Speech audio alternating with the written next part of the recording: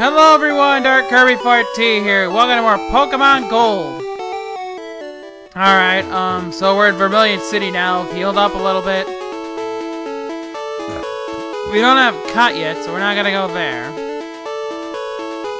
Um, as I go here and train, it's a little route. Okay, so that, um, I don't know what this one is. It could be a youngster, it could be anyone. And it is a youngster. I thought it was a bug catcher. It looks the same as a bug catcher. I was looking at, um, hi, another, another Alright, Clefable, let's not be useless here. Damn it. Yeah, let's try not to be useless here. Let's try and frickin' Okay. I think I should be able to handle this now,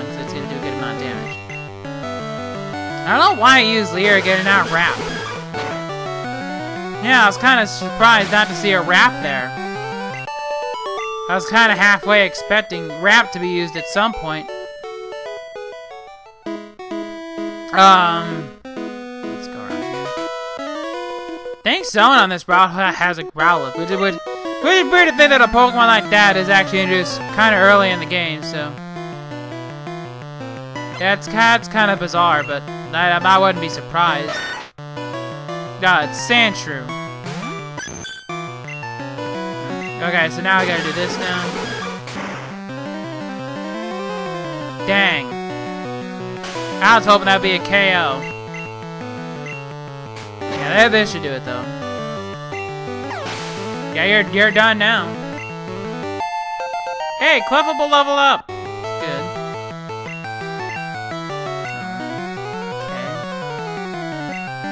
Oh, Zubat. I think I'm gonna use Butterfree.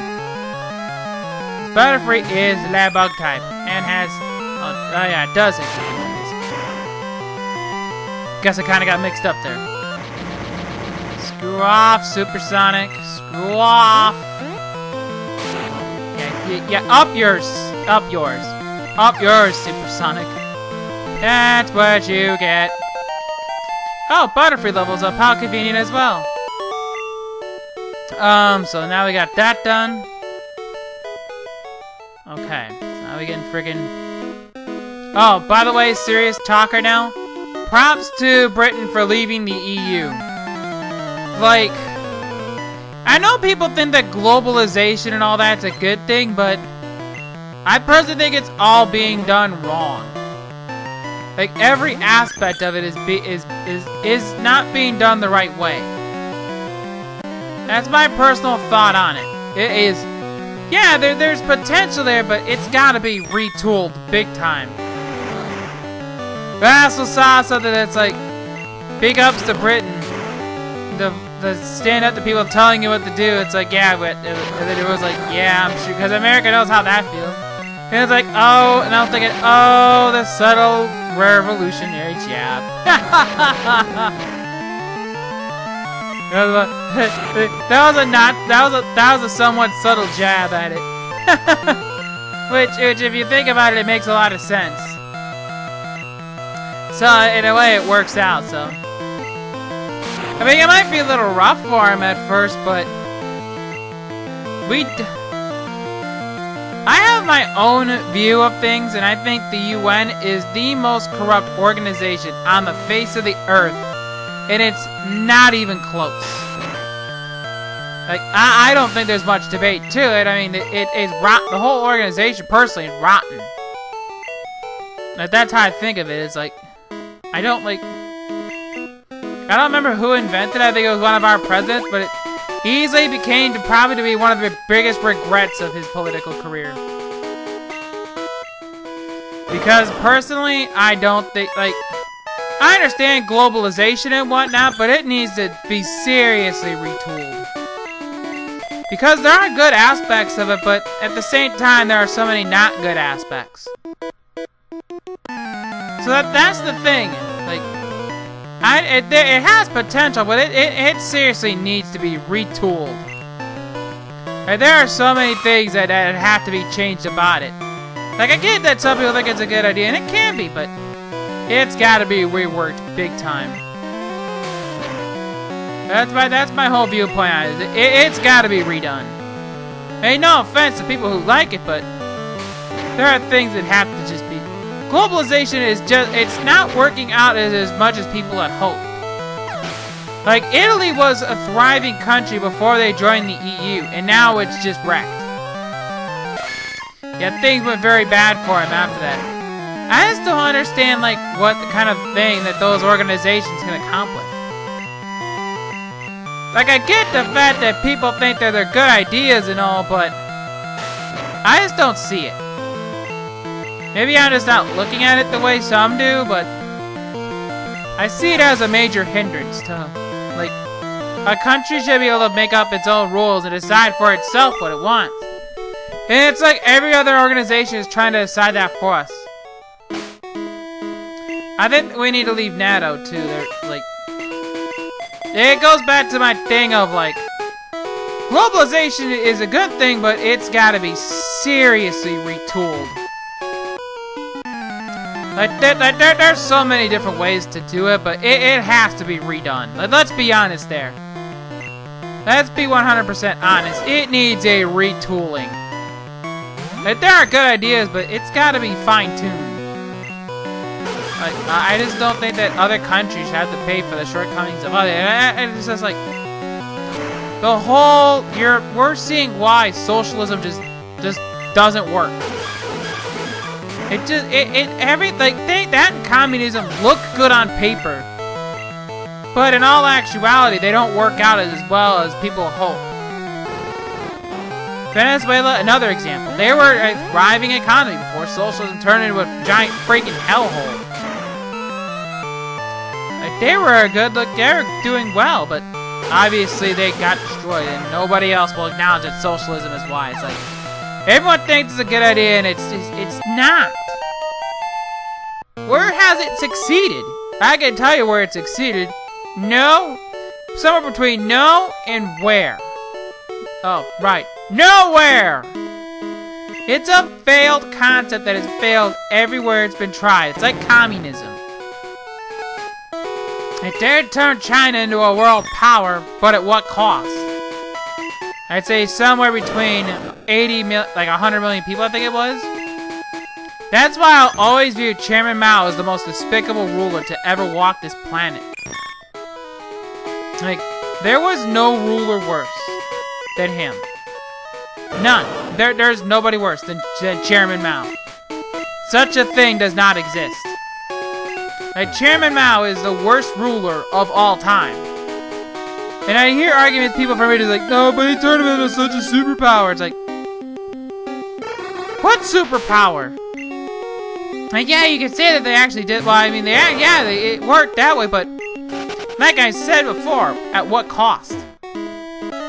It cost the American people a lot. It cost the Chinese people almost a hundred million, I think it was.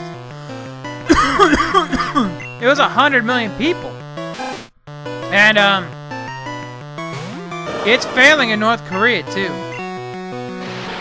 But it's like, um, North Korea basically edits out what they don't want people to find out about them, so it's kind of hard to take them seriously. I would say it's hard to take, it's hard to take North Korea seriously. I don't, I'm not scared of North Korea. Like, I'm not. I think they're a bunch of airheads. They say stuff, but they talk a big game, but freaking their ruler. That's like that, that's the difference between Kim Jong Un and his father. His his father was freaking crazy, but at least Kim Jong Il knew his place. Like, that's the one thing you could never fault him for. That's the one thing you could never fault Kim Jong Il for. Is the dude knew his place. Like, like he knew where he where he sat. He knew where his spot on the totem pole was. That's something his son, his delusional son, just doesn't understand. But so you're about to level up, so yeah. That's the thing.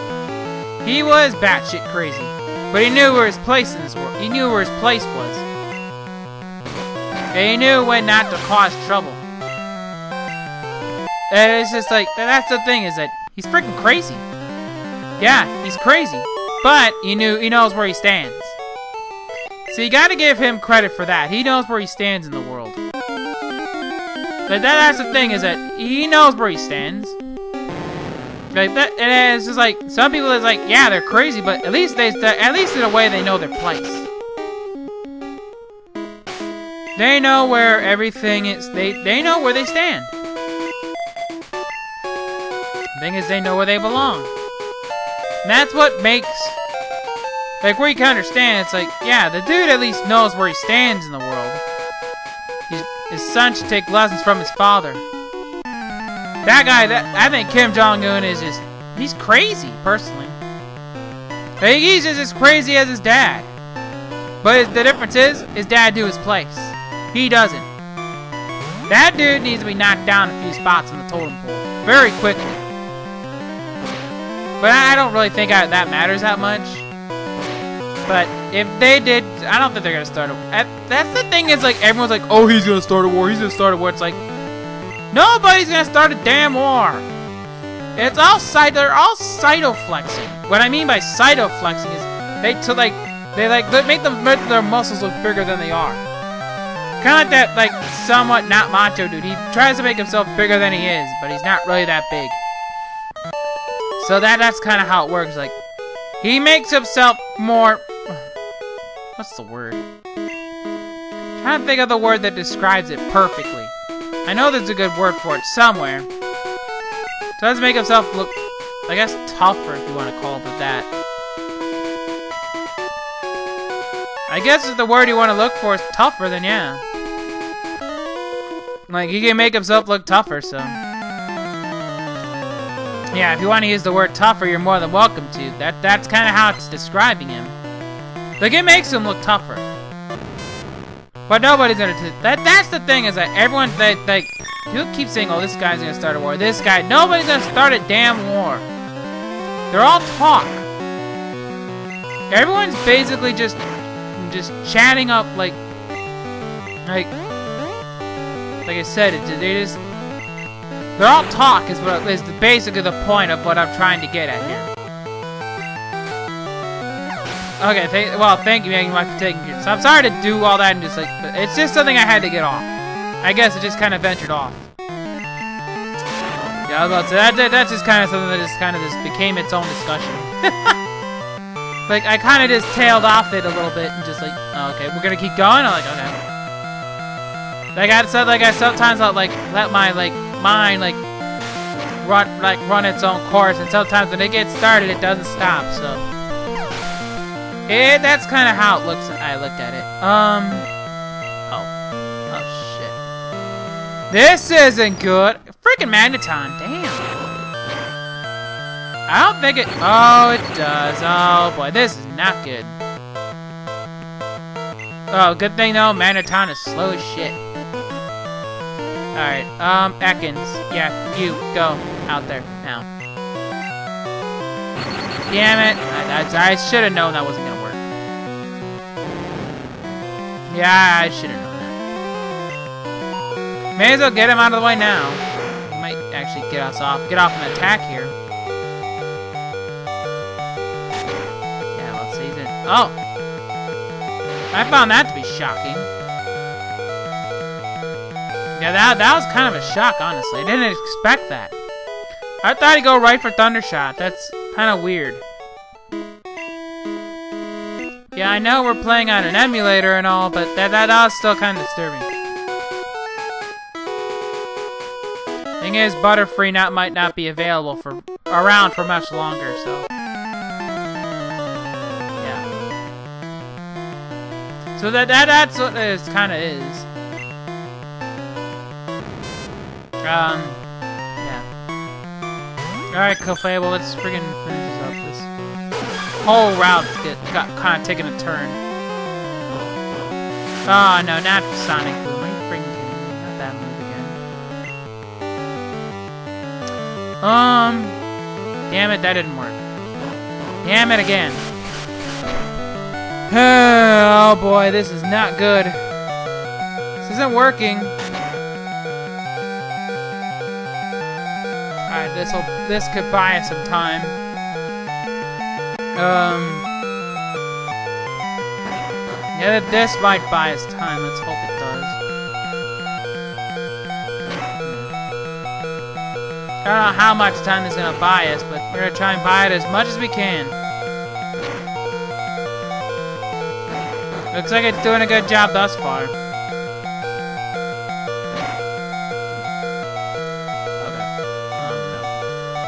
Let's. Let's not let that happen again. Yeah, you're down. You you stay there. Um. Oh crap! I better go freaking heal up. That might be it though. There might be one last trainer. It's down there, but I'm not gonna go battle. That's probably not a good idea to battle him. He's right here, so. With that, this has been Dark Kirby 14. We'll see you next time on more Pokemon Red.